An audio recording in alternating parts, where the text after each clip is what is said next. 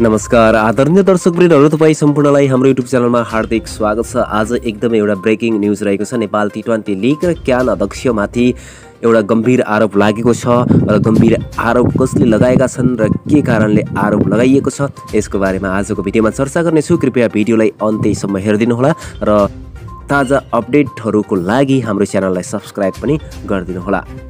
नेकपा एमालेका नेता तथा सङ्घीय सांसद गोकुल बास्कोटाले Nepal T twenty league cricket व्यवस्थापन अधिकार भारतीय company seven three sports S थ्रीलाई दिँदा भारतीय कानुनअनुसार गरेको भन्दै आपत्ति जनाएका छन्। संसदको आइतबारको बैठकमा विशेष समयमा बोल्दै बास्कोटाले नेपाल क्रिकेट सङ्घ क्यानका अध्यक्ष चतुरबहादुर चन्दले चतुराई गरेर नेपालको क्रिकेट खत्तम पार्न लागेको पनि आरोप उनले लगाएका छन्। यो एकदमै गम्भीर समेत रहेको छ। यो सम्झौता कार्यान्वयन हुनु हुँदैन। यो सम्झौता च्यातिनुपर्छ रद्द हुनुपर्छ।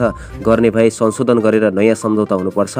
टी ट्वेन्टी लिगका लागि भारतीय कम्पनी सेभेन थ्री स्पोर्ट्ससँगको सम्झौता पत्र देखाउँदै बास्कोटाले भने म सरकारको ध्यान आकर्षण गर्न चाहन्छु। खेलकुद मन्त्रीले जवाब दिनुपर्छ। सन् दुई हजार दसको विश्वकप जितेर टुक्रिन लागेको स्पेन एकताबद्ध भएको तथा खेलकुदले नै अमेरिका चीन टक्राव अन्त्य गरेको उदाहरण दिँदै सांसद बास्कोटाले खेल क्षेत्र मात्र देशको एकता र गौरवको क्षेत्र भएको दावी समेत गरेका छन्।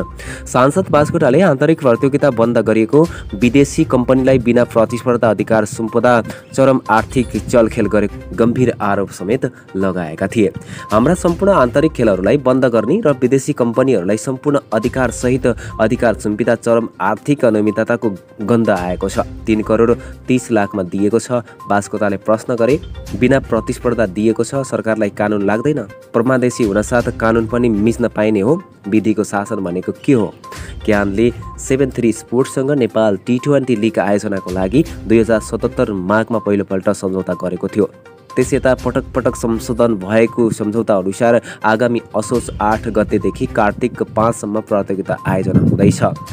सम्झौता भारतीय कानुनअनुसार गरिएको खुलासा अघिल्लो साता भएको थियो। सम्झौतामा कुनै विवाद आएमा र पन्ध्र दिनभित्र समाधान नभएमा भारतको कानुनअनुसार नयाँ दिल्लीमा विवादको निरूपण गरिने सम्झौतामा उल्लेख गरिएको छ। नेपाल टी ट्वेन्टी लिग आयोजना हुने भएसँगै क्यानले नेपालमा आयोजना भइरहेका सबै फ्रेन्चाइज क्रिकेट प्रतियोगिता आयोजनाको लागि स्वीकृति नदिने निर्णय समेत गरेको छ। त्यसको विरोधमा एभरेस्ट प्रिमियर लिग इपिएल आयोजकले सर्वोच्च अदालतमा दायर गरेको रिट विचाराधीन पनि रहेको छ।